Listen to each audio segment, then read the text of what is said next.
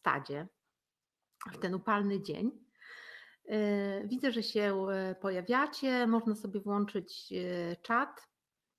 Kto mnie widzi pierwszy raz, to nazywam się Agata Wiatrowska i zaraz chwilę o sobie powiem. Mm, generalnie możecie coś napisać od siebie, skąd jesteście, zobaczyć, czy, czy czat działa. Y, patrzę tutaj, że pojemność webinaru powiększałam, bo, bo dużo osób się zapisało. Nie włączyła się ta pojemność większa, więc mam nadzieję, że się zmieścimy. Zobaczymy, ile osób będzie na żywo, bo będzie też oczywiście powtórka. Ja nadaję z Franciszkowa. Franciszków to jest taka wioska między, ja to mówię, między Łodzią a Warszawą, mniej więcej w środku Polski, e, na terenie Bolimowskiego Parku Krajobrazowego, e, teren leśny, więc e, też tutaj zawsze jest wyzwanie, żeby nadać wszystko tak jak trzeba. Widzę Izę z Olsztyna, Kasia z Magdalenki, Dominika z Wrocławia. Cześć Dominika. Słuchajcie, ja jak zaczęłam się zajmować tym tematem, to on jak stado po prostu y, zaczął się pączkować, powiększać. Y, w ogóle dostałam sporo od Was y, pytań, też Waszych sytuacji, które jakby dzisiaj też próbowałam ułożyć jakby w treść tego webinaru i go ciąć przede wszystkim. Nie? Okazało się, że temat też tak jest jakby szeroki, że go będzie trzeba y, obciąć. Plan mam mniej więcej taki, żeby opowiedzieć Wam to, co mam przygotowane, czyli zaczynam od prezentacji, a później, żeby zostawić trochę czasu na pytania. W czacie macie coś takiego, że możecie po prostu pisać swoje mm, komentarze, ale też można zaznaczyć taki znak zapytania i wtedy dla mnie się dany, y, to co wpiszecie oznacza jako pytanie. Ja wtedy widzę, że to jest pytanie, a nie a nie po prostu jakiś komentarz na przykład. Tu Kasia pisze, że nie ma dźwięku. Y, pytanie, czy pozostałe osoby mają dźwięk, bo jeśli jest tak, że pozostałe osoby mają, to znaczy, że trzeba odświeżyć stronę, wejść, wyjść, bo y, po prostu gdzieś może coś w ustawieniach jest nie tak. No dobra, słuchajcie, zaczynamy. Ja nazywam się Agata Wiatrowska, prowadzę programy rozwojowe e, z mm, końmi, ale to można powiedzieć, że nie jest tylko jedyna moja działalność. Prowadzę też szkołę facylitatorów. To jest taki profesjonalny kurs, w którym osoby uczą się tego samego co ja, czyli prowadzić programy rozwojowe z końmi, ale też jestem rolnikiem, chociaż ta nazwa tak um, nie do końca pasuje do końca e, tym, czym się zajmuję. Bardziej jestem farmerą, farmerką po prostu, czyli zajmuję się jakby prowadzeniem ośrodka Y, horse sense rozwojowego, gdzie mieszkam razem z końmi i y, prowadzę całkiem y, normalne życie, że tak powiem, rolnika. Jak sobie się zastanawiałam, co chcę dzisiaj jeszcze o sobie powiedzieć, to bym powiedziała, że kocham rozwój, ale głównie nie rozwój dla rozwoju, tylko rozwój pod kątem tego, jakie namacalne daje zmiany w życiu, czyli co można więcej dzięki e, niemu, czyli rozwój jako narzędzie. I taki, taki cel też mają webinary, one są cykliczne. Mm, co miesiąc, co dwa miesiące różnie to jakby wypada. Spotykamy się w tematach rozwojowych, żeby osoby, które do mnie przyjeżdżają na programy, mogły sobie mm, pewne tematy przerabiać w trakcie i jeszcze może przygotow- przygotować się bardziej do tych programów, ale też, żeby nie zapominać o rozwoju, a dla tych osób, które dopiero planują przyjechać na programy, żeby można było się oswoić, zobaczyć i mieć swoją korzyść y, też taką zdalną. Tak? Teraz jesteśmy w takich czasach, że można wiele rzeczy robić online. Między innymi jedną z rzeczy jest e, to, że można być na webinarze i posłuchać o rozwoju. Y, webinar ma to do siebie, że pozwala na interaktywność, bo jesteśmy tutaj na żywo razem i można zadawać pytania, można komentować ze sobą wzajemnie, więc bardzo Was zapraszam do tego, żeby z tej propozycji y, skorzystać. No dobra, ja się przełączę na y, prezentację. Mnie też będzie widać, tylko trochę mniejszą. I zaczynamy o naszą podróż ze stadem. Stado, ludzkie stado. No i taka pierwsza rzecz to w ogóle trochę chciałam powiedzieć, jak ja rozumiem, y, y, jak ja rozumiem stado.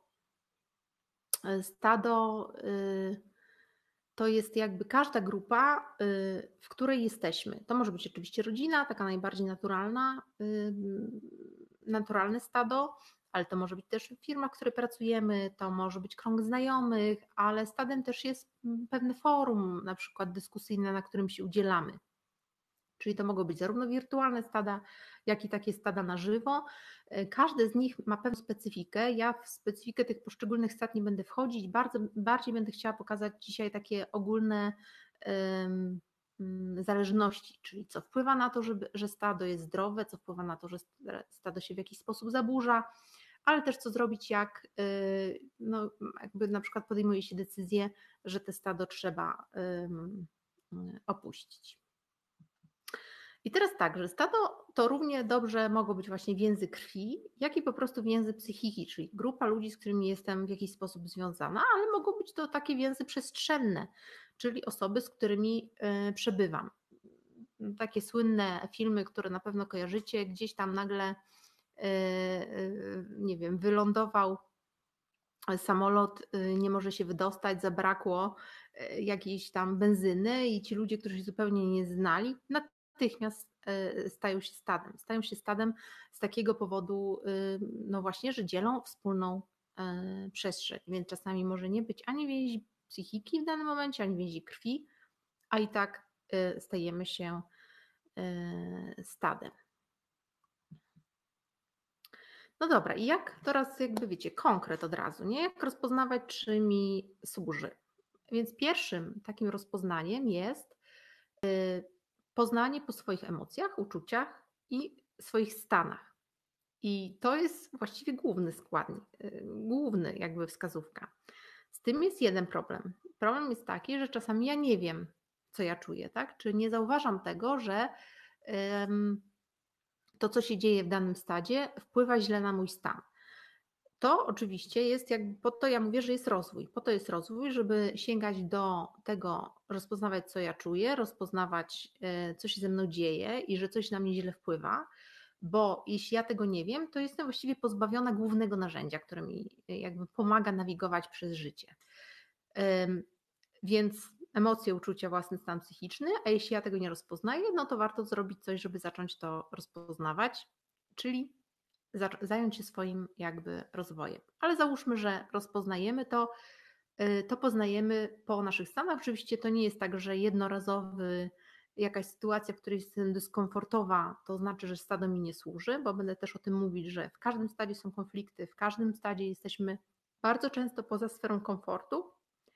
To wcale nie znaczy, że te stado mi y, y, jakby nie służy, nie? Czyli trzeba rozpoznawać takie krótkoterminowe stan emocjonalny wynikający po prostu z konfliktu jakiegoś, z nieporozumienia, z tego, że mm, próbujemy się porozumieć, od permanentnego stanu, w którym czujemy, że coś nas ograbia z energii, ograbia nas z radości życia, ograbia nas z siły, że coś nam jest jakby zabierane. Więc to jest taka jedna rzecz, po której rozpoznajemy, że, czym mi służy. Druga taka rzecz, to jest tak, jeśli ja mam swoje jakieś cele i mam swoją ścieżkę życiową i stado, w którym jestem, reaguje bardzo na to negatywnie, wyśmiewa, e, podstawia nogi, mm, no to warto rozważyć, czy ja jestem w dobrym stadzie. I teraz uwaga, ważne jest, żeby rozróżnić taką sytuację, w której ja mam nieadekwatne oczekiwania do stada. Często jest tak, że przerzucamy na stado takie trochę marzenia, które mamy wobec, nie wiem, własnych rodziców na przykład, nie? czyli y, takiej bezwarunkowej aprobaty. Większość stad nie da nam bezwarunkowej aprobaty i jakby w dojrzałym dorosłym życiu ważne, żebyśmy my sami mieli aprobatę dla własnych celów, czy własnych wyborów, czy własnej ścieżki życiowej. Stado nie musi jej zapewniać, ale jest różnica między tym, że powiedzmy stado jest neutralne, a tym, że no po prostu podstawia nam e, nogę. I wtedy to jest taka czerwona kartka. Czy ja w tym miejscu będąc, będę mogła iść swoją ścieżką życiową? To jest wtedy do rozważenia. I tu chciałam jeszcze Wam powiedzieć taką swoją osobistą, y, takie swoje osobiste różne mm, sytuacje, które ja mam z moją mamą, która nieustająco, jak opowiadam, że wchodzę z kimś w jakiś projekt, czy podejmuję nową współpracę, to tak nastawia, uczy, strzyże uszami, z nadzieją i z takim pytaniem, a to to będziesz na jakimś etacie? I to jest trochę tak, że dla mojej mamy, moje bycie na etacie byłoby sytuacją dużo bardziej bezpieczną niż moje jakby prowadzenie działalności. Już nie mówiąc o tym, że prowadzę działalność w tak szalonym e, obszarze jak programy rozwojowe z. I ja to rozumiem, jakby nie oczekuję tego, żeby mimo, że to tłumaczę, opowiadam i tak dalej, że w niej to się zmieni. Ja po prostu czuję tą jakby jej własną niepewność wobec tych moich wyborów. Natomiast nie oczekuję od stada, jakim jest moja najbliższa rodzina, w tym przypadku mama, tego, że to zrozumie, co nie oznacza, że mama jest do zmiany. Wiecie, jakby w ogóle nie o to chodzi. Ja tą potrzebę wsparcia mam na mastermindach na przykład. To są mastermindy, to są takie spotkania, y, które są poświęcone temu, żeby prowadzić swój biznes, prowadzić się przez swoje cele i Gdybym ja oczekiwała od mamy, że czy od kogokolwiek innego, no ale w tym przypadku mamy, że będzie akceptowała każdy mój rój biznesowy, go rozumiała i dała mi pewne wsparcie, to nie problem z mamą, tylko z moimi oczekiwaniami wobec niej. O, e, tutaj widzę, że ktoś napisał, moja, moja mama Dominika, moja mama ma to samo. No właśnie, nie? I jakby to jest to, że trzeba odróżnić e, wskazówki do zmiany stada, czy one są adekwatne, czy my oceniamy je adekwatnie. Mm, jest jeszcze taka e, jakby sytuacja, że trzeba też znać siebie, bo są na przykład osoby wysoko wrażliwe i z kilku maili, które dostałam od Was, wynikało, że tak też Wy siebie możecie przeżywać, że w ogóle bycie w dużych stadach nieznajomych ludzi powoduje pewien dyskomfort. I wtedy, znając siebie, też ma się zupełnie inne oczekiwania, i się e, jak najmniej pakuję w sytuacje, w których jest wiele ludzi, nikogo nie znam i nie wiem, co z sobą w tej sytuacji począć. Nie z tym stanem wtedy jest jakby coś nie tak, tylko z tym, że ja mam takie, a nie inne potrzeby, bo na przykład jako osoba wysoko wrażliwa jestem um, bardzo czujna na wszelkie najmniejsze zmiany emocjonalne. Jak tych zmian jest dużo, jak na stadionie narodowym, no to można tego um, nie ogarnąć. No i też jeszcze jest coś takiego, jeszcze będę o tym mówiła więcej, że w ogóle do oceny e, właśnie rozpoznawania, czy stado mi służy, warto się zastanowić, z jakiej perspektywy na to patrzę. Czy z perspektywy dziecka, rodzica i dorosłego. To są takie perspektywy y, z analizy transakcyjnej. To jest taki nurt psychologii, który mówi, że możemy przyjmować różne postawy wobec rzeczywistości. I jeśli do stada, stado oceniam, czy wchodzę w interakcję ze stadem jako dziecko lub rodzic, no to będą z tego problemy. Oczywiście mówimy o dorosłych, dojrzałych stadach. To, co zapewnia mi rozpoznanie, czy stado mi służy, jest pozycja dorosłego. I teraz ten przykład, który podawałam za aprobatą, czyli że chcę, żeby na przykład dane stado w całości zaaprobowało wszystkie moje pomysły, to jest pozycja dziecka. Ja chcę pełnej akceptacji, bezwarunkowej miłości. I to sprowadza na siebie wcześniej czy później jakby y, kłopoty, bo żadne stado mi tego nie e, dostarczy.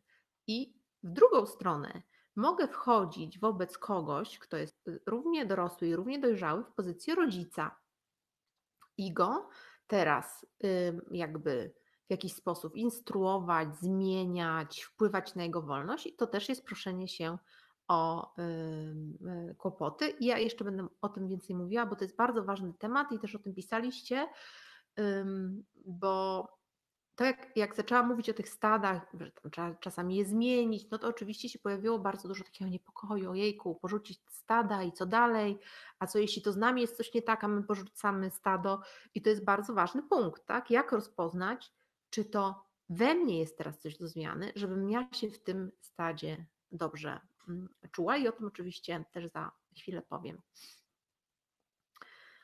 Y, to jest po co, czyli jaki jest sens stada, nie? czyli to, to warto sobie uświadomić, ponieważ sta, my jesteśmy zwierzętami stadnymi jako ludzie mm, i stado zapewnia nam bardzo podstawowe potrzeby wynikające z relacji, od najprostszej bezpieczeństwa. Co to oznacza? To oznacza właśnie, że jeśli robimy coś przeciwko stadu, no ale przeciwko w takim sensie, że odchodzimy od niego, to się uruchamia też bardzo dużo niekomfortowych emocji, bo na jakimś bardzo takim bazowym mm, rozumieniu przeciw, sta, przeciw jakby stadu to jest przeciw życiu.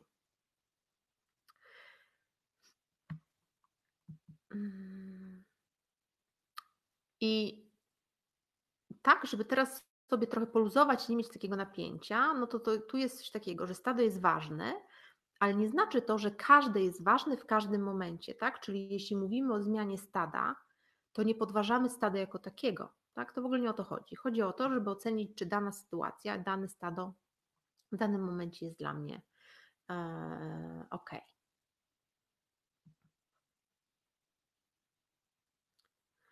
I teraz tak, ważne jest przy zmianie stada, jeszcze o tym zmianie będę mówiła, ale w ogóle, żeby spojrzeć na to jako pewną drogę. Od pewnych stad odchodzimy na chwilę i po jakimś czasie do nich e, e, wracamy. Czyli odejście od stada nie wiąże się z tym, że porzucamy to stado i nigdy już z nim nie nawiążemy relacji, tylko dla naszych potrzeb rozwojowych, dla naszych potrzeb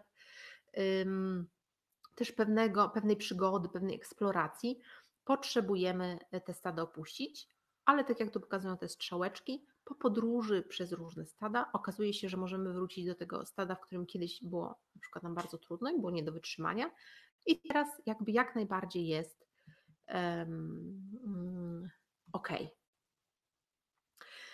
E, I jeszcze zanim do koni, to jeszcze właśnie chciałam e, opowiedzieć o takim swoim e, pierwszym momencie, w którym ja zaczęłam zmieniać stado. Miałam wtedy lat bodajże 14 i byłam, stado moim było zawodnicy szachów, ponieważ ja grałam mm, jako juniorka, mm, można powiedzieć, profesjonalnie w szachy. Byłam sportowcem szachowym, tak to się nazywa, w klubie Jagiellonia Białystok. I to było bardzo intensywne i bardzo poważne. No, w takim sensie, że byliśmy na zawodach i krajowych, i międzynarodowych kilka razy w y, roku i były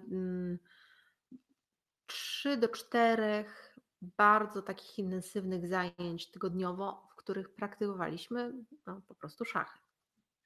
I ja wtedy poznałam konie konie, które były już jakoś wcześniej w moim jakby istnieniu, ale poznałam też taką stajnię, w którym było bardzo w ogóle fajne ludzkie stado i ja tam wsiąknęłam.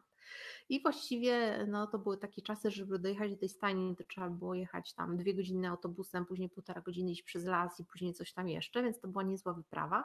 Więc to przestało dać się łączyć z szachami. To była moja taka pierwsza świadoma decyzja, jeszcze bardzo taka dziecięca, że ja zrywam z środowiskiem jakby szachów i przestawiam się e, na konie.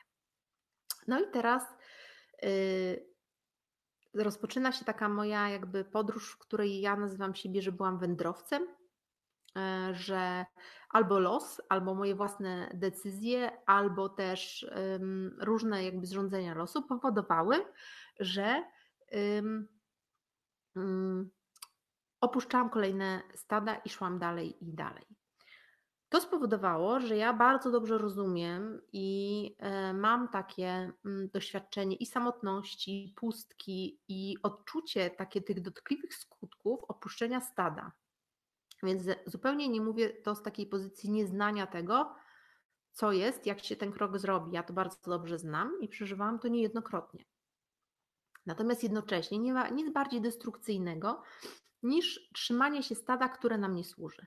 Tak? To po prostu jest destrukcja, która ma swoje konsekwencje, o których też za chwilę jeszcze mm, powiem. No dobrze, konie.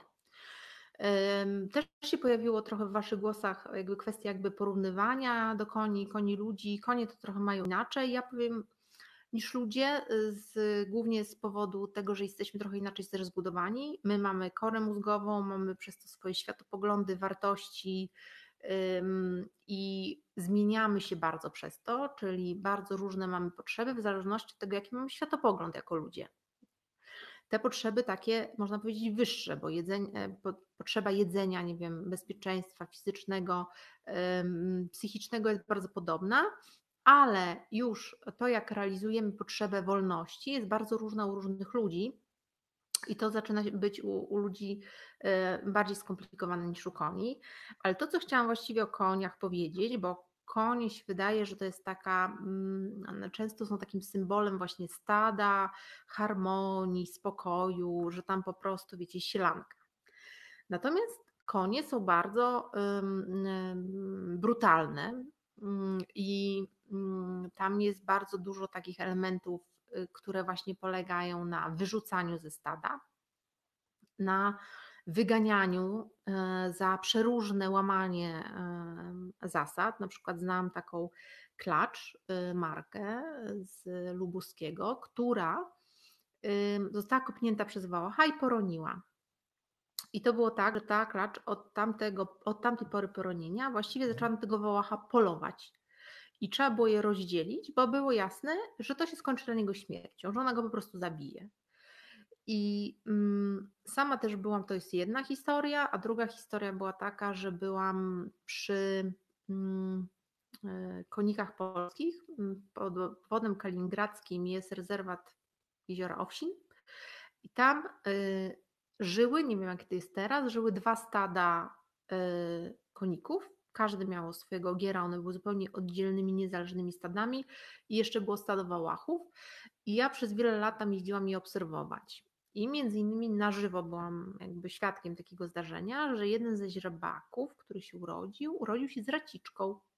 Czyli tak jak konie mają połączone kopyta, jakby jest tu jedna płaszczyzna, to on miał normalnie taką raciczkę, jak krowa, nie? czyli taką rozdzieloną tutaj i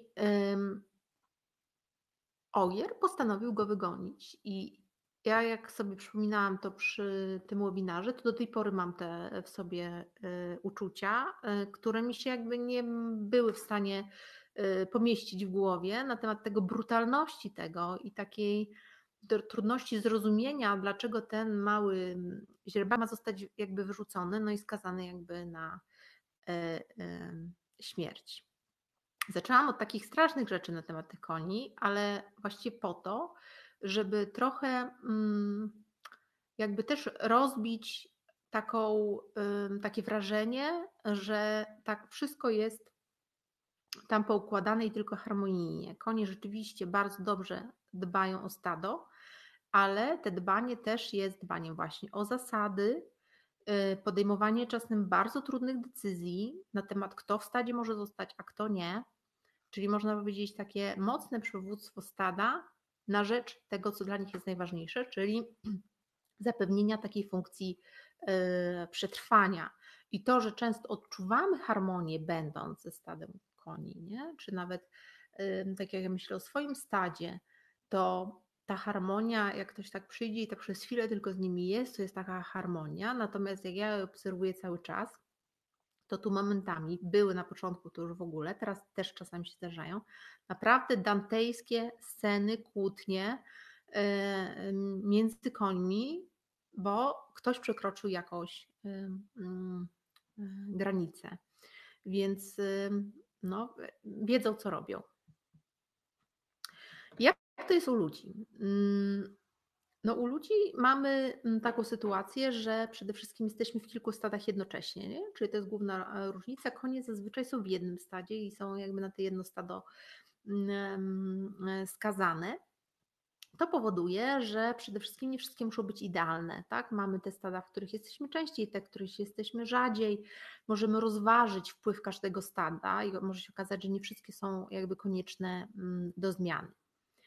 I jeśli jest tak, tutaj na przykład mm, pisała do mnie e, Krysia, która mówi, że nie, e, różnie, mm, z różnym nastawieniem jeździ na wyjazdy firmowe, bo niekoniecznie właśnie lubi takie duże e, spędy. Z drugiej strony czuje taką konieczność bycia na kolacjach firmowych, żeby nie być odebrana jako gbur i w ogóle jak sobie z tym radzić. No i właśnie to jest taka sytuacja, że mogę regulować swój wpływ dystansem tak, i przestrzenią. Może się może okazać, że a w ogóle nie muszę na taki wyjazd jechać. Warto spróbować. Dwa, jeśli już na niego jadę, to może wcale nie muszę być na kolacji. I nie chodzi o to, żeby teraz tego wszystkiego unikać, ale naprawdę komunikować swoje potrzeby I pokazanie na, przykład, słuchajcie, jakby um, ja jestem padnięta, dla mnie jest tak dużo wrażeń, ja to tak wszystko chłonę, że bardzo mi było z wami być cały dzień, ale teraz idę na spacer i zadbać o siebie, tak? I jeśli w, w, jestem w miejscu, które na tak sformułowany komunikat będzie miało problem, no to znaczy, to już jest pierwsza wskazówka do tego, że muszę się nad tym zastanowić. Um, czyli można sobie dopasowywać dane sytuacje, nawet jeśli nie mam wpływu na całość wydarzenia, to mam wpływ na swoje decyzje i na to, co mnie może jakby spowodować, że to będzie dla mnie znośne. Zwłaszcza jeśli mówimy o jakimś wyjeździe, który jest tylko na 2-3 dni, a na przykład w pracy na co dzień jest całkiem um, ok. I tu jest właśnie taki aspekt, że jeśli nie mam na coś wpływu, to żeby jednak zobaczyć, na co mogę mieć wpływ, czyli co dla mnie jest do zrobienia.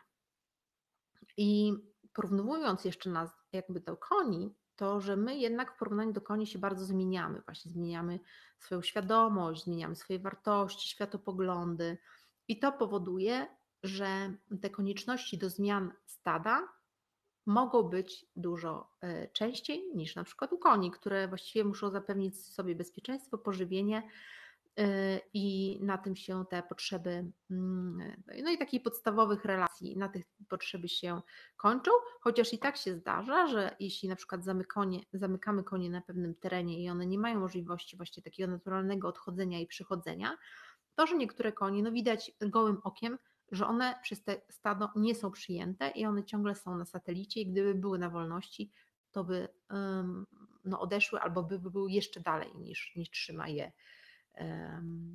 płot. Y, no i co wpływa na zdrowie mm, e, stada? To właśnie to, co mówiłam, możliwość przybliżania się, oddalania. Dystans nie jest w zdrowym stadzie problemem. Y, uniwersalne wartości ogólnoludzkie po prostu, jeśli są jakby podwaliną, to stado ma większą szansę, żeby być zdrowe. Y, indywidualny tak na bycie w stadzie, czyli jeśli ludzie e, są na nie w jakiś sposób, są, czują się zmuszani do bycia, nie chce im się, no to to jest mm, potencjalny problem.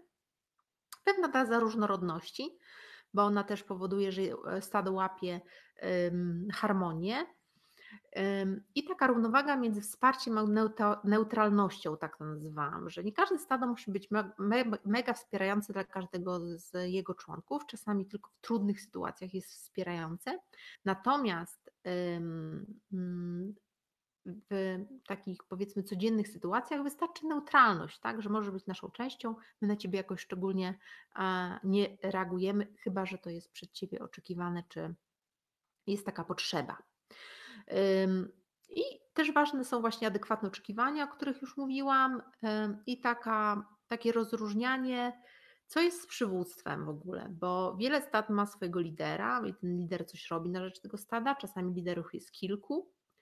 E, I zamieszanie w stadzie i te stado zaczyna szwankować, kiedy się okazuje, że na przykład ktoś nie chce być liderem, ale w tą rolę wchodzi, czyli chciałby mieć e, na przykład prawa lidera, ale już niekoniecznie jego obowiązki. Nie? I tu się robi jakby zamieszanie. Więc e, mm, im większy jest porządek w takim temacie przywództwo i podążanie, tym większe, tym większe zdrowie mm, stada. No i teraz co wpływa na y, zaburzenie stada? Oczywiście z takich podstawowych, no to jeśli ogólne wartości, po prostu ogólnoludzkie są w jakiś sposób zagrożone, Y, czy to na, na, na, na czym się jakby stado opiera jest sprzeczne ze zdrowym mm, rozsądkiem. W ogóle Horsense, nazwa firmy, którą prowadzę, po angielsku znaczy common sense, czyli zdrowy rozsądek, nie? czyli gdzieś w ostatecznym rozrachunku można się po prostu prowadzić zdrowym rozsądkiem.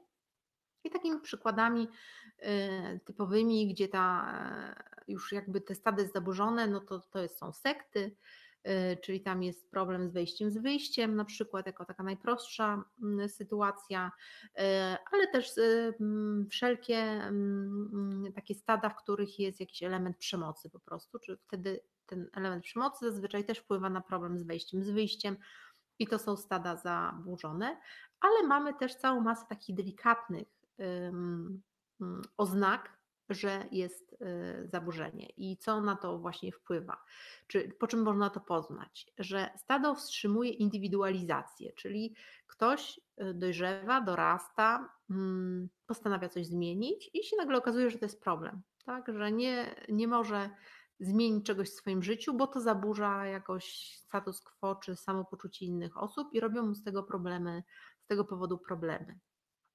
E, właśnie te nieadekwatne oczekiwania, o których już mówiłam, czyli na przykład jak jest e, dużo osób z takiej pozycji dziecka, mm, które chce coś, żeby coś te stado załatwiło, e, nie widzi, co jest możliwe, a nie, nie potrafi tego ocenić i oczywiście ma te oczekiwania i teraz próbuje być roszczeniowym, próbuje kogoś z czegoś rozliczać, no to zawsze z tego będą problemy. I, no i oczywiście nieadekwatne e, mm, przywództwo. I teraz tak, to, żeby jak jeszcze patrzyłam na Wasze pytania i na Wasze komentarze, to pomyślałam, że bardzo ważne jest, żeby Wam wspomnieć o dynamice procesów grupowych, bo wśród ludzi, nie, to są koniki sobie biegają, ale ja mówię o dynamice procesów grupowych każda grupa, wystarczy kontakt i konieczność współistnienia, tak? Czyli wylądowaliśmy na wyspie i sobie jesteśmy, nie znamy się, stajemy się grupą i natychmiast idzie proces e, grupowy. Proces grupowy jest nieustającą zmianą, tak? To nie jest coś, co się zatrzyma, będzie jakieś. Zdarzają się w nim fale emocji, właściwie nieustająco od harmonii do dysharmonii konfliktu. Taka grupa wpływa na postrzeganie świata przez poszczególne E, jakby członków i chce mieć na to wpływ. Reguluje też zachowania, czyli się jakby ustala, że coś jest ok, coś jest nie ok, no i ma właśnie swoje własne procesy regulujące, albo właśnie liderów, nie wiem, samozwańczych, albo wyznaczonych, no to są różne jakby sposoby. Natomiast co to oznacza dla rozumienia stada? Że gdziekolwiek nie będziecie, to ten, ten proces grupowy będzie miał miejsce. I e, to, że się czasami okazuje, że nie wiem, było tak fajnie, no nie wiem, tam przyniosłam się gdzieś do jakiejś nowej stajni, nowe towarzystwo, było tak fajnie, a później się zepsuło. No, mm, możliwe, że się nic nie zepsuło, tylko proces grupowy, dynamika procesu grupowego weszła w inną fazę. I te fazy tutaj dla Was też wymieniłam. Układność, czy taki poziom takiego mm, bardzo dużej zgody, wszyscy są uśmiechnięci, to jest tylko na początku. Tak?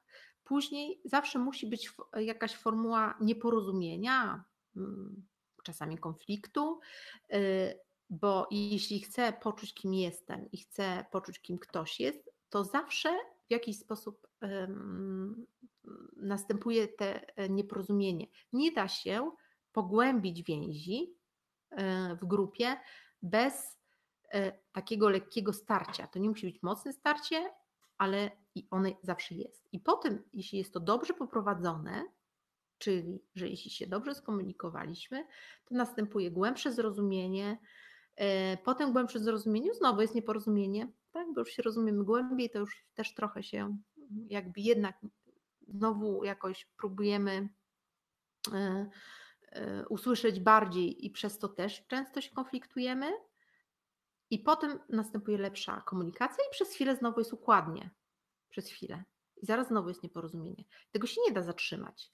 Na tym w ogóle mm, y, są jakby programy, są, które są prowadzone tak jak ja pracuję, to w większości programów staram się opierać pracę właśnie o dynamikę procesów grupowych, bo zrozumienie ich i zauważenie, że tak funkcjonujemy jako ludzie, i słuchajcie, to tak wszystko funkcjonuje. Dzieci w szkole, grupy w firmie, e, grupy szkoleniowe, czyli te grupy, które są na dłużej razem i te, które są na krócej razem, rozbitkowie na wyspie, bo już o nich tutaj dużo mówię. I nie da się tego zatrzymać. Nie da się zatrzymać w układności wszystkich, ponieważ nie ma głębszego rozumienia, nie ma lepszej komunikacji, a te głębsze rozumienie, lepsza komunikacja zapewnia też dla danego stada spełnienie potrzeb i bezpieczeństwo. Więc ta dynamika zawsze będzie, ona jest po prostu naturalna dla ludzi. I teraz, jeśli ja mam takie oczekiwanie, że ja to czuję na przykład od niektórych osób, które nawet na warsztaty przyjeżdżają, że tu to będzie taki, wszyscy będą mili do siebie.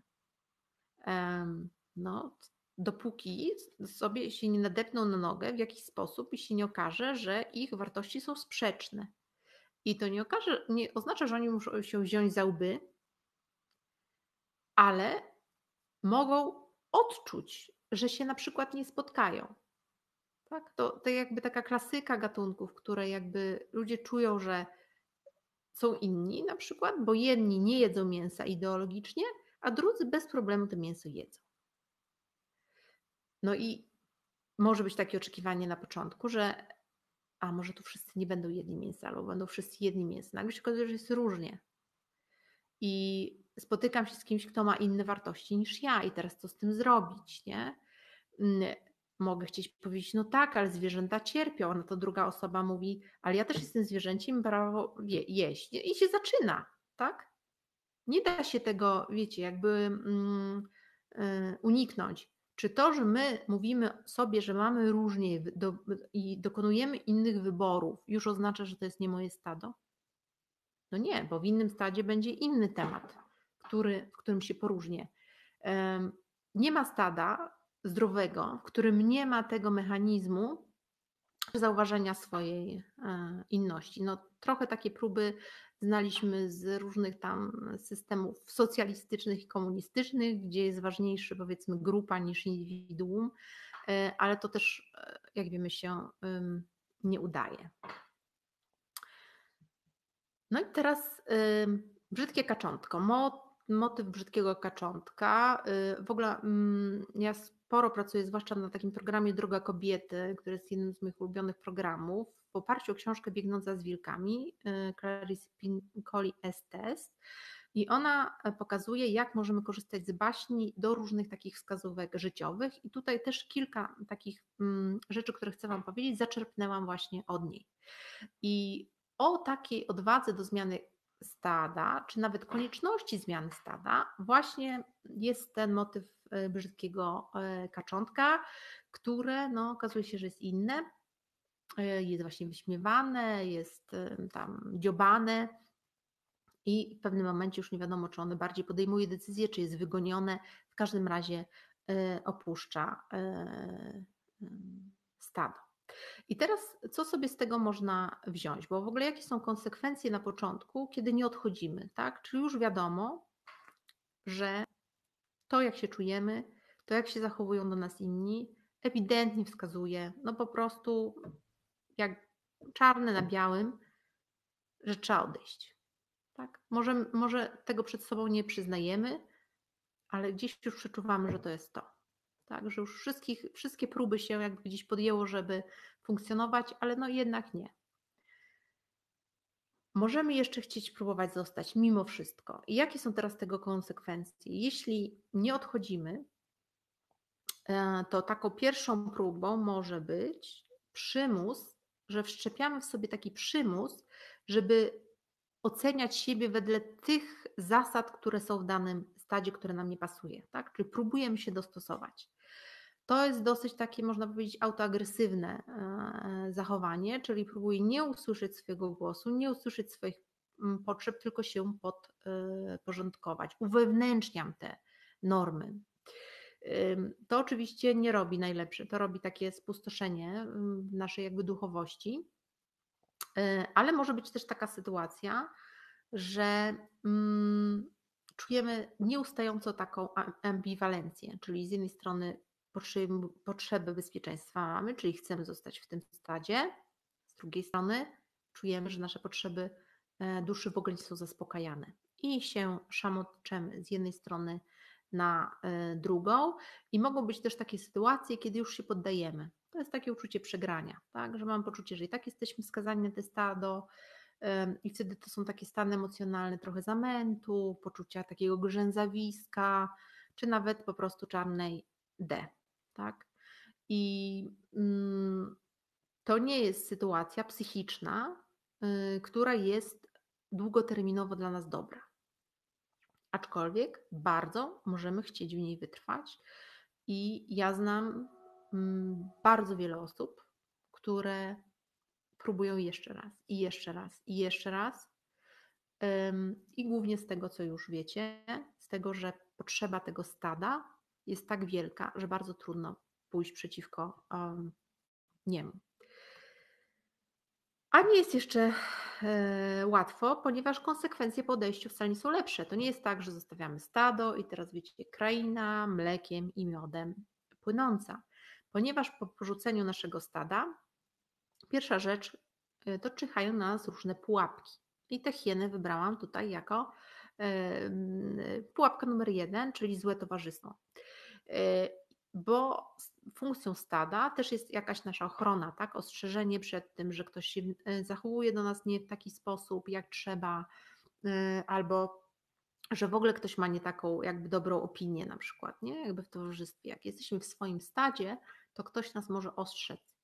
Natomiast jak mm, wyruszamy do nowych środowisk, to stajemy się łatwym łupem takich towarzystw, a jako nowi nie zostaniemy ostrzeżeni. Ja to nazywam takim właśnie podejrzanym typem ze złotym zębem, a może nie ze złotym zębem, bo takiego może by się uciekło, ale jakby podejrzanym typem z uroczym uśmiechem stojącym w bramie, który właśnie pragnie odpowiedzieć na wszystkie moje potrzeby. Bardzo łatwo jest gdzieś, e, tu jest też taka baśń biniącej z wilkami e, sinobrody, o sinobrody, czyli takie wpadnięcie w taką mm, takie złudzenie, że no tam było źle, bo oni byli wszyscy źli, bo ja dużo o nich jakby wiedziałam i oni mi odpowiadali i uciekłam z tego swojego stada i teraz trafiam na pierwszą uśmiechającą się, życzliwą osobę i mi się wydaje, że to już Boga spotkałam w postaci tej uśmiechającej się osoby i często te decyzje są podejmowane nieadekwatnie.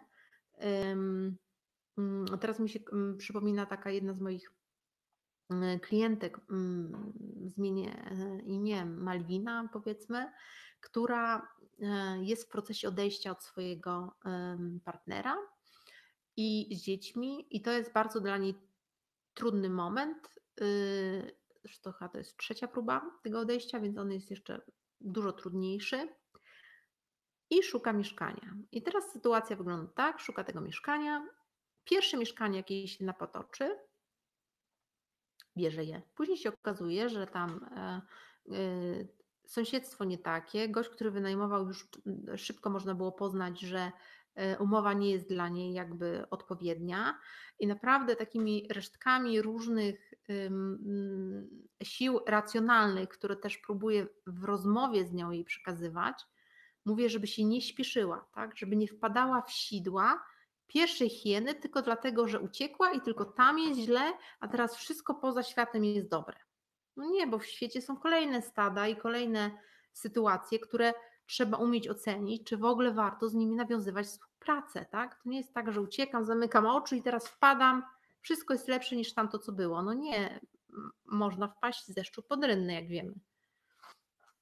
Więc to jest pierwsza konsekwencja. Czyli widzicie, zobaczcie, co się dzieje nie dość, że to jest piekielnie trudne te stado zostawić, to jeszcze czekają nas tutaj takie zabawne konsekwencje, czyli jesteśmy w takich kleszczach i my psychicznie jesteśmy wyposażeni w tą wiedzę, że czujemy, że to będzie, to jest trudny proces, dlatego często tak z nim e, zwlekamy. Natomiast trzeba ruszyć naprzód i iść do przodu. I tu mam taki cytat też z Miknącej Wilkami, który przygotowałam specjalnie dla Izy i dla Was. Iza napisała właśnie, jak przetrwać bez stajni, tak? Co zrobić, kiedy już się jest w tym momencie, kiedy się opuściło stado i się mm, czuje nie za bardzo. I ten cytat mówi tak. Yy, to jest yy, Biegnąca z wilkami yy, Clarissa Pinkola Estes. I mówi tak. Choć wygnanie ma wiele negatywnych stron, dzika psychika potrafi je przetrwać. Na wygnaniu o wiele mocniej dąży się do wyzwolenia prawdziwej natury, bardziej tęskni za sprzyjającym środowiskiem. To dążenie, ta tęsknota pozwalają posuwać się naprzód. Sprawiają, że kobieta nie ustaje w poszukiwaniu, a nie znajduje otoczenia, które by jej sprzyjało. Jeśli nie znajduje otoczenia, które by jej sprzyjało, zwykle postanawia sama je stworzyć. I to pokazuje jedno, że to jest trudny czas, ale tu jest, to jest czas największych łowów tego, kim się jest.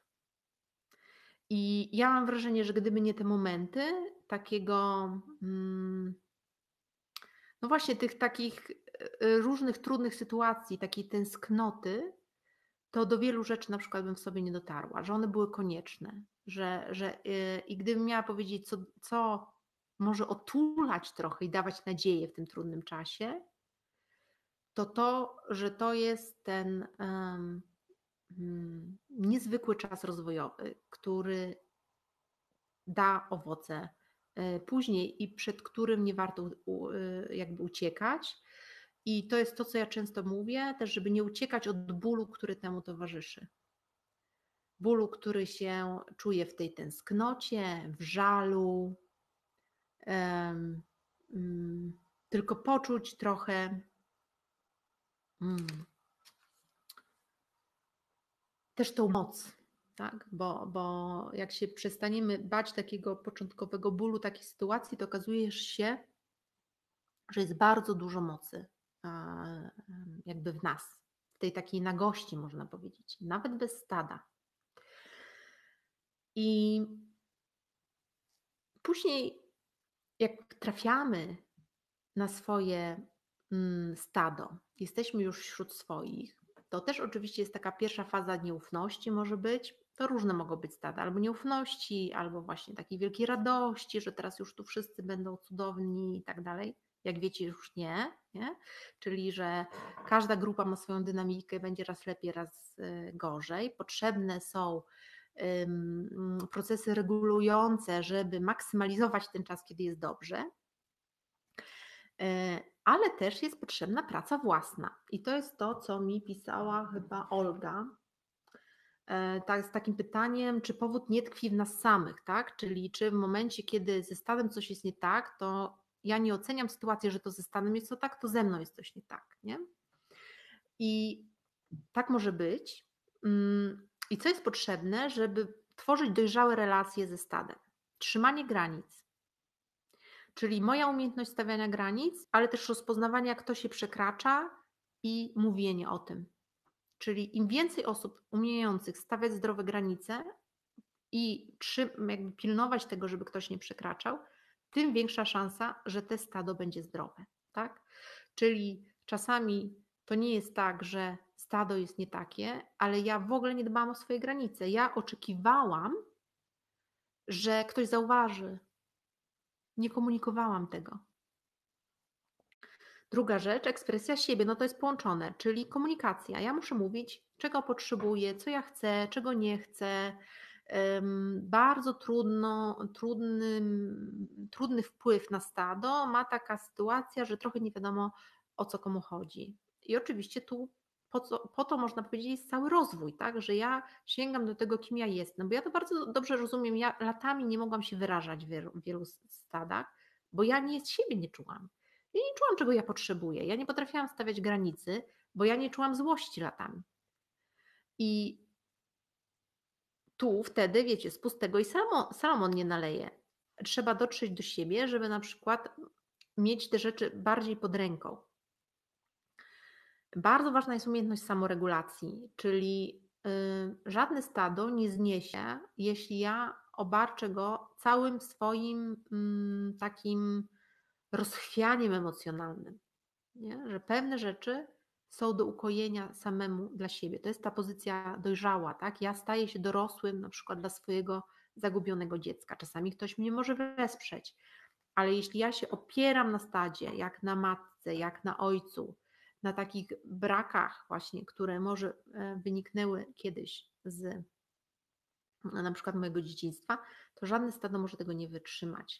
Albo wytrzyma, ale chwilowo. A ja później się poczuję rozczarowana i powiem, stado nie takie, nie? bo nie wytrzymało tych wszystkich moich potrzeb, które, a co ciekawe, słuchajcie, im lepsze stado, tym bardziej te potrzeby się uruchamiają. Te marzenie, wiecie, o takim idealnym plemieniu, którym nie ma żadnych problemów, w którym y, moje jakby różne sytuacje trudne by się nie wydarzyły. Nie? Więc ta samoregulacja, nie całkowita, bo oczywiście stado też jest po to, żeby nam pomagać się samoregulować. Ale wiecie, to musi być obustronna praca. E, kolejną rzeczą, która pomoże nam być wśród swoich w stadzie, które już jest fajne i chcemy w nim trochę sobie pobyć, to jest zrozumienie natury ludzkiej.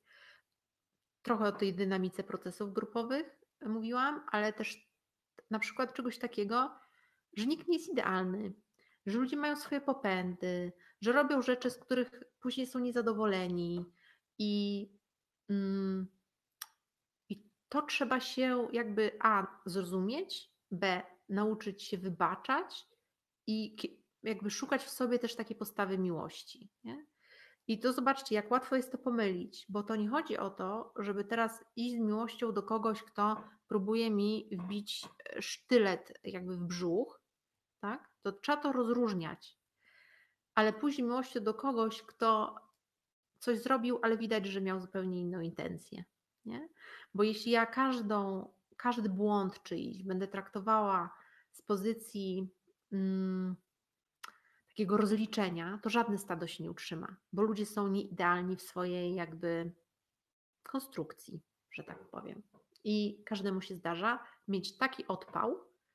I ja na przykład mam, takie, mam takie odpały, że myślę, dobra, co to było w ogóle? Z jakiego ja miejsca zareagowałam, nie? I, um, i po, po prostu jest to potrzebne Widzę, że mamy tak czas, ale już kończę na szczęście. I jeszcze, no właśnie przywództwo, tak? Czyli też taka świadomość, kto, y, kto właściwie jakie ma role i dlaczego i, i co mm, lider może, a czego nie może. I to właściwie e, tyle, jeśli chodzi o prezentację. A teraz Was zapraszam do E, pytań. Możecie sobie tam e, kliknąć e, znaczek pytania i one mi się tutaj będą wyświetlały. Tu już widzę jedno pytanie, ale nie wiem, czy mogę je oznaczyć.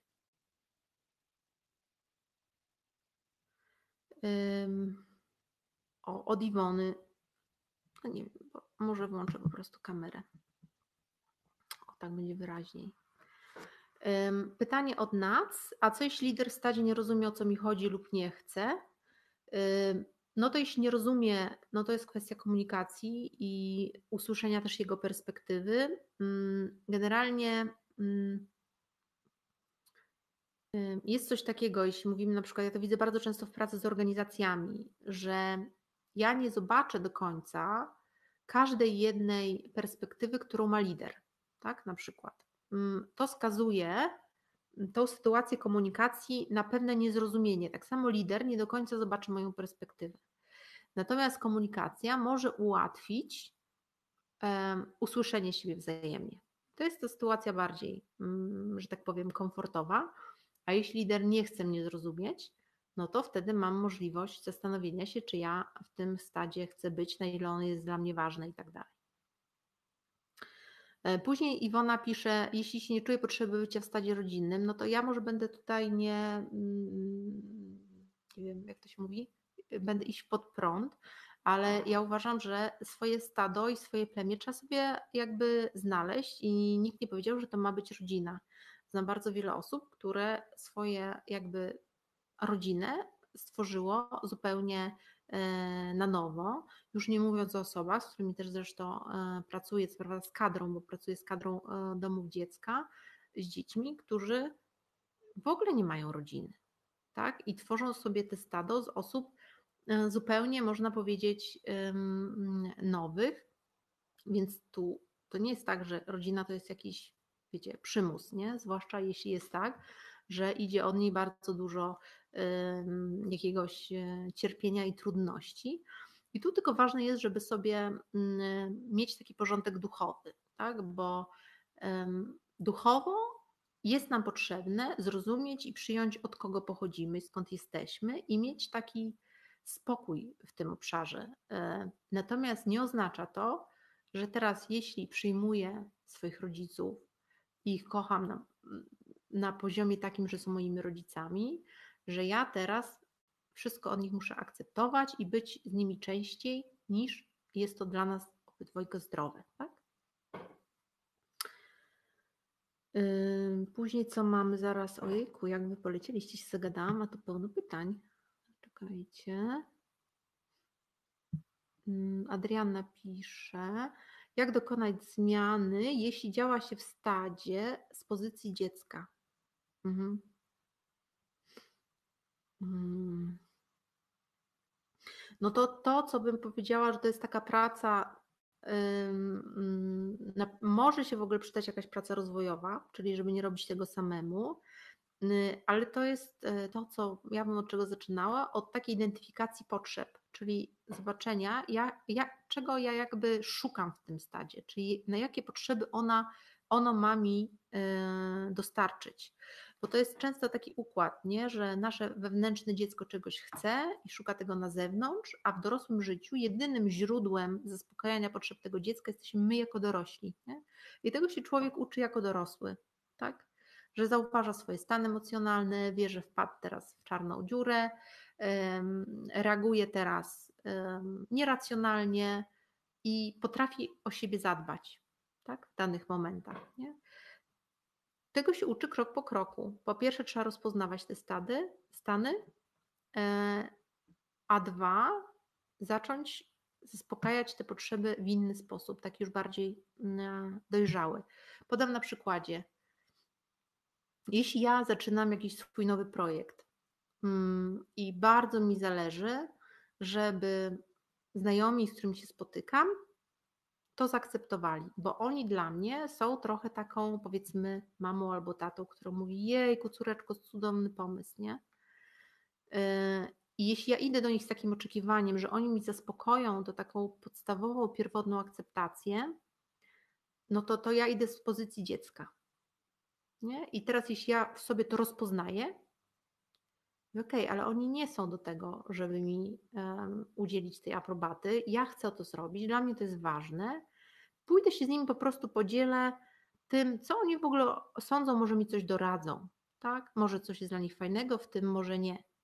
Widzicie tę różnicę? Jak ja byłam jako dziecko, które szło po aprobatę i zaraz by było smutne, bo Kazik powiedział, czy mi się w głowie przewracało, bo chcę, nie wiem, programy rozwojowe z koniu prowadzić. A jak idę z pozycji pewności siebie, mojej decyzji, ale też pewnej otwartości na informację zwrotną, tak? Bo dorosły człowiek to nie jest ktoś, kto jest zamknięty teraz na to, co ktoś innemu powie.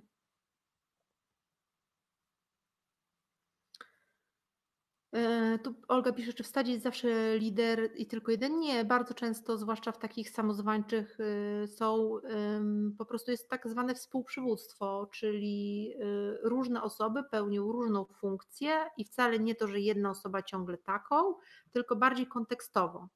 Mm, czyli jeśli, nie wiem, jesteśmy na y, obozie i wiadomo, że musi być woda do gaszenia ogniska, E, to nie musi być lider, który wszystkim powie, że trzeba tą wodę na, nabrać, tylko różne osoby mogą zacząć tego e, pilnować na przykład, nie? Jeśli to nie działa, no może się okazać, że ten lider musi być wyznaczony, ale w wielu sytuacjach nie musi być wcale jednego e, lidera. Mm, jak nie ma jednego lidera, to jest też taka ważna rzecz, bo mm, w takich turkusowych organizacjach to jest taki sposób pracy, mm, do którego teraz wiele firm dąży. Jest tak, że ma nie być niby tego lidera w ogóle, tylko wtedy więcej odpowiedzialności jest na każdym z członków. Nie? To jest trochę tak jak ze mm, śmieciami. Nie wiem, dlaczego przyszedł mi ten pomysł do głowy że jeśli są e, służby porządkowe, które sprzątają chodniki, to my idąc miastem możemy minąć papierek na trawniku i wiemy, że jest jakiś lider, który to posprząta. Natomiast gdyby go nie było, to każdy staje się liderem i jeśli mijasz jutro papierek na trawniku, to znaczy, że właśnie nie e, wszedłeś, e, weszłaś w sytuację liderską wobec papierka. Nie, nie wiem, czy to jest jakby jasne, ale im bardziej nie ma lidera, tym bardziej wszyscy muszą być liderami. E, jak zacząć od nowa, ale świadomie w starym stadzie? Mm, z dystansu. Po prostu trzeba się zdystansować i powoli. nie w bliskości, w obserwacji, rozumieniu siebie, na najmniejszych takich emocjach, bo generalnie w stadach najbliższych e, i najważniejszych dla nas bardzo hulają emocje. Im większe emocje, tym trudniej jest dla nas wprowadzić zmianę. Nie? Bo załóżmy, że po tym webinarze macie jakiś pomysł, że coś spróbujecie inaczej. Podam Wam na przykładzie akurat stawiania granic. Ja, jak ktoś mówi, że chce się uczyć stawiania granic i mówi, no i teraz wrócę tam po warsztacie i pójdę i powiem tam swojemu mężowi, że tam nie ma zmywać po obiedzie, nie wiem, czy cokolwiek innego. Ja mówię, uuu, hola, hola, spokojnie, tu z takimi pomysłami. Nowe umiejętności ćwiczymy na sytuacjach i osobach dalekich od nas emocjonalnie, bo wtedy jest prościej. Ja wtedy takiej osobie mówię, że na przykład w kolejce, nie wiem, stoi po bułki rano i ktoś mówi, czy tutaj tylko jedną bułkę chce, czy on może y, wejść przed i kupić, nie? Powiedzieć, że nie. Nie trzeba się tłumaczyć, bo pierwszy komunikat asertywności mówi o tym, że nie, nie trzeba tłumaczyć. Masz prawo powiedzieć nie i ni, z niczego się nie tłumaczyć. To jest piekielnie trudne, jeśli się tego nigdy nie robiło. I um, się śmieję, jak spotkacie kogoś, kto nie wpuszcza w was kolejce, to pomyślicie, że jest po, ten, warsztat, po warsztacie u mnie.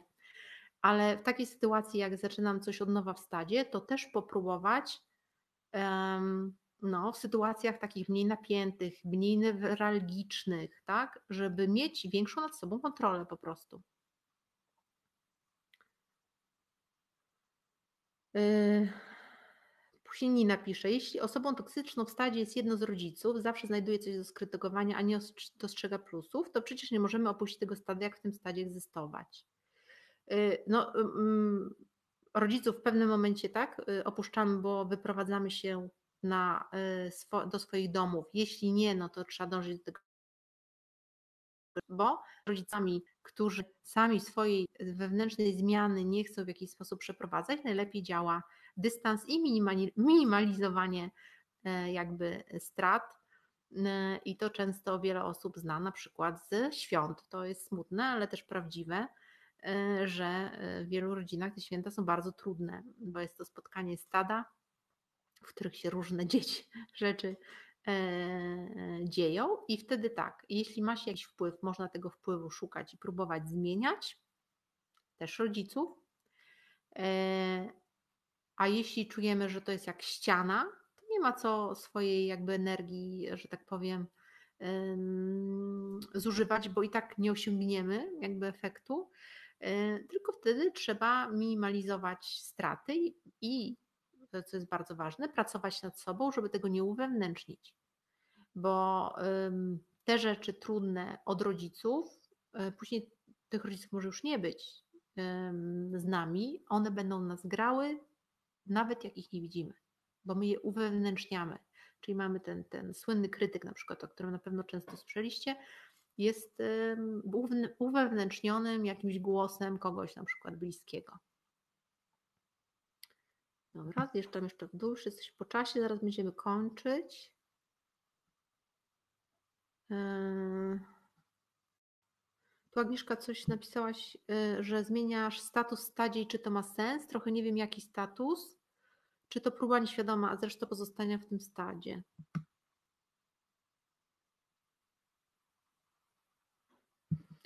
O, yy, tu Grażyna pisze, że wspominałam, że jestem samotnikiem, zaraz o tym powiem. Mm, I za cytat był z rozdziału Brzydkie kaczątko. Jak sobie otworzysz Brzydkie kaczątko, to w mm, części dotyczącej, żeby iść naprzód. Tam są takie podrozdziały, to sobie to znajdziesz. Yy, ja jako samotnik funkcjonuje w wielu stadach, więc bycie samotnikiem nie oznacza, że e, nie mam stad. Ja te, zna, e, ja te stada mam, tylko po prostu mniej czasu w nich e, spędzam. O, widzę, że już dziękujecie, widzę, że uciekacie. Słuchajcie, tak, będziemy kończyć, bo jest, mamy pięć po. Bardzo Wam dziękuję za pytania, w ogóle za te pytania przed i teraz za tak jakby żywe uczestnictwo, że, że mam wrażenie, że, że prawie, że tutaj byliśmy razem wspólnie na kawie. E, życzę Wam dużo siły i powodzenia i takiego rozpoznawania tego. Poprzyglądajcie się swoim stadom, innym stadom, nabierzcie takiej swojej mm, intuicji do tego i zobaczycie, że jak trochę tylko włożycie w to pracy, to też te odpowiedzi będą same e, przychodziły. Pozdrawiam Was cieplutko i do zobaczenia e, na kolejnym webinarze, może albo na jakimś programie. A, jeszcze miałam powiedzieć, że e, miałam Was zaprosić na Horsensownię, ale już jakby na wakacje nie ma w ogóle miejsc, więc niestety nie będę mogła e, Was zaprosić, ale jest na drogę kobiety we wrześniu. Są jeszcze cztery miejsca, więc jeśli ktoś ma ochotę wskoczyć na program rozwojowy na cztery dni intensywne właśnie z biegnącą z wilkami, ze mną i z końmi, to zapraszam. Pozdrawiam Was, ściskam serdecznie e, i dobrego wieczorku. Teraz gdzie ja to wyłączę? Chyba tu. Tak, właśnie napiszcie właśnie, co, co też dla Was zarezonowało. Możecie mi napisać też maila. Dla mnie są też ważne, zawsze ważne informacje.